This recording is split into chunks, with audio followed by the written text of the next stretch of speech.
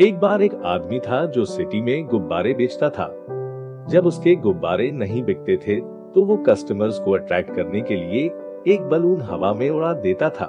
और लोग हवा में उड़ता बलून देखकर उसके पास बलून लेने आ जाते थे। और वो आदमी हर टाइम एक डिफरेंट कलर का बलून उड़ाता था।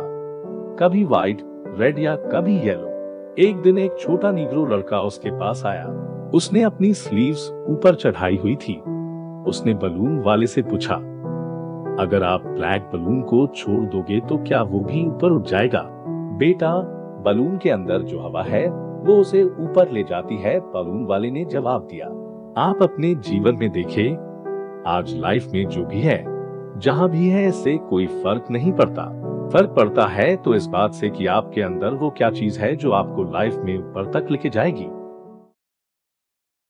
देखने के लिए धन्यवाद।